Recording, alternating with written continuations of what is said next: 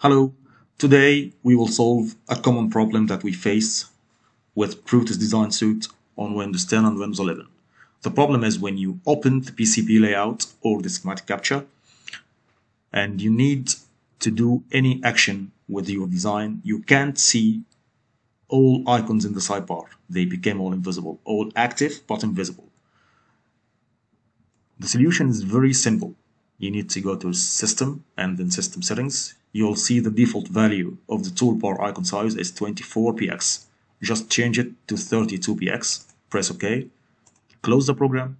Open it again.